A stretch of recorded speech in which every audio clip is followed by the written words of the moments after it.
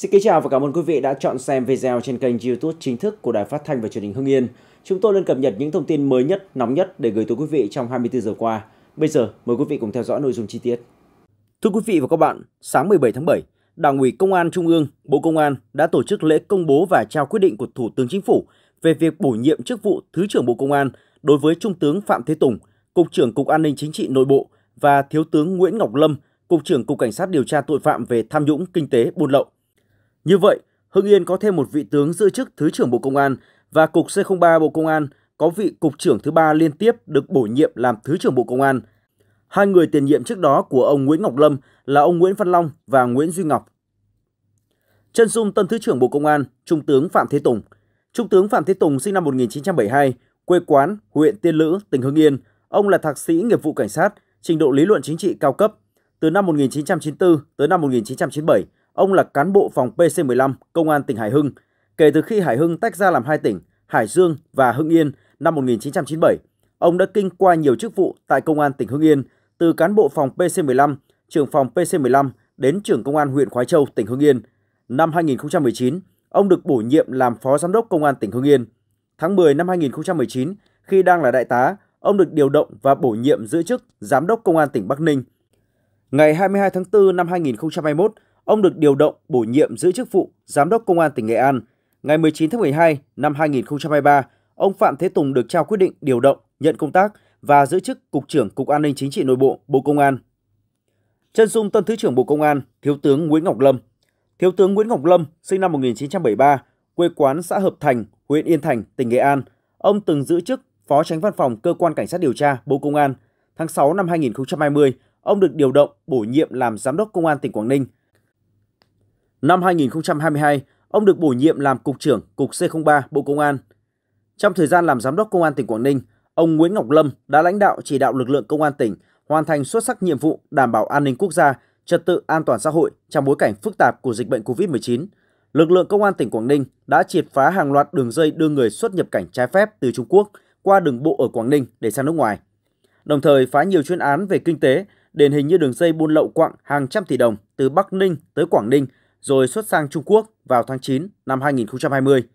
Như vậy, đến thời điểm hiện tại, Bộ Công an có 6 thứ trưởng gồm Thượng tướng Trần Quốc Tỏ, Trung tướng Lê Quốc Hùng, Trung tướng Lê Văn Tuyến, Trung tướng Nguyễn Văn Long, Trung tướng Phạm Thế Tùng và Thiếu tướng Nguyễn Ngọc Lâm. Chủ tịch nước Tô Lâm dự lễ công bố và trao quyết định bổ nhiệm Thứ trưởng Bộ Công an.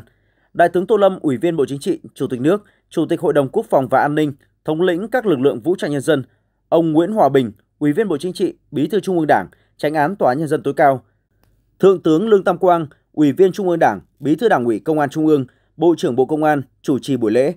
Tại buổi lễ, Thứ trưởng Bộ Nội vụ Trương Hải Long đã công bố quyết định của Thủ tướng Chính phủ về việc bổ nhiệm chức vụ Thứ trưởng Bộ Công an đối với Trung tướng Phạm Thế Tùng và Thiếu tướng Nguyễn Ngọc Lâm. Thưa ủy quyền của Thủ tướng Chính phủ, Bí thư Đảng ủy Công an Trung ương, Bộ trưởng Bộ Công an Lương Tam Quang đã trao quyết định bổ nhiệm chức vụ Thứ trưởng Bộ Công an đối với Trung tướng Phạm Thế Tùng và Thiếu tướng Nguyễn Ngọc Lâm.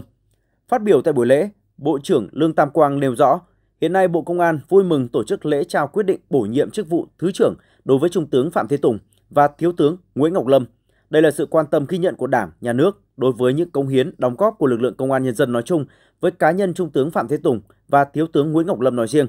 Thay mặt Đảng ủy Công an Trung ương, Bộ Công an, Bộ trưởng Lương Tam Quang chúc mừng hai tướng Phạm Thế Tùng và Nguyễn Ngọc Lâm vinh dự được Thủ tướng Chính phủ bổ nhiệm giữ chức vụ Thứ trưởng Bộ Công an.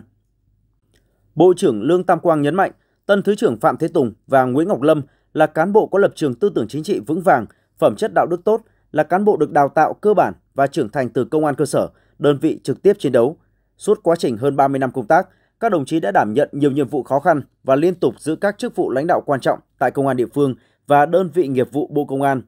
Bộ trưởng tin tưởng và mong muốn với kinh nghiệm thực tiễn trong hơn 30 năm công tác, Thứ trưởng Phạm Thế Tùng và Thứ trưởng Nguyễn Ngọc Lâm sẽ không ngừng rèn luyện, trao dồi phẩm chất đạo đức cách mạng, đề cao trách nhiệm nêu gương, đoàn kết, thống nhất, ra sức phấn đấu, nỗ lực vượt qua mọi khó khăn, phát huy tinh thần dám nghĩ, dám làm, dám chịu trách nhiệm, hết lòng, hết sức vì sự nghiệp chung để hoàn thành xuất sắc nhiệm vụ chính trị mà Đảng, Nhà nước và nhân dân tin tưởng giao phó. Trước đó, Thủ tướng Chính phủ đã ký quyết định bổ nhiệm lại Thượng tướng Phùng Sĩ Tấn làm Phó Tổng tham mưu trưởng Quân đội Nhân dân Việt Nam, kéo dài thời gian giữ chức vụ với ba vị tướng khác. Tại quyết định số 653 QĐ-TTG, Thủ tướng Chính phủ quyết định kéo dài thời hạn giữ chức Phó Tổng Tham mưu trưởng Quân đội Nhân dân Việt Nam đối với Trung tướng Nguyễn Trọng Bình đến hết tuổi phục vụ tại ngũ. Tại quyết định số 652 QĐ-TTG, Thủ tướng Chính phủ kéo dài thời hạn giữ chức Chính ủy Quân khu 5 đối với Trung tướng Trịnh Đình Thạch đến hết tuổi phục vụ tại ngũ. Tại quyết định số 651 QĐ-TTG, Thủ tướng Chính phủ đồng ý kéo dài thời hạn giữ chức Phó Tư lệnh Bộ đội Biên phòng đối với Thiếu tướng Lê Văn Phúc đến hết tuổi phục vụ tại ngũ.